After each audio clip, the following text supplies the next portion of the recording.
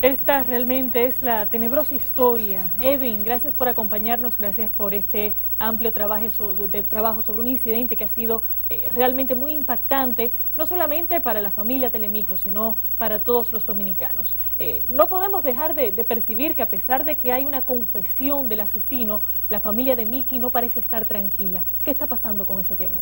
Bueno, hola, gracias Laura. Lo que sucede es que parecen haber evidencias bastante claras de que hubo más de un agresor en ese lugar. Vimos el lugar como han podido observar los televidentes y la escena como que da cuenta de que hubo más de una persona.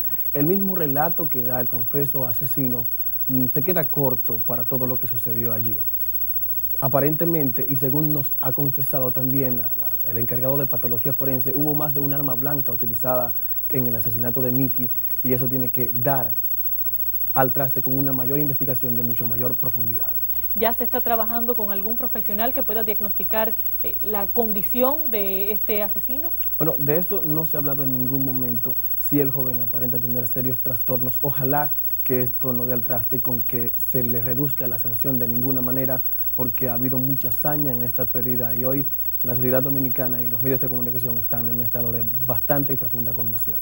Edwin, gracias por acompañarnos, y gracias por este reportaje. A nosotros en la familia Telemicro no nos queda más que lamentar muy profundamente la pérdida de este compañero, que además de ser un miembro de esta familia, pues perdemos un gran talento de la televisión en República Dominicana.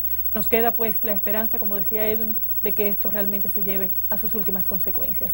Gracias por estar con nosotros. De esta forma concluimos. Nos vemos la próxima semana.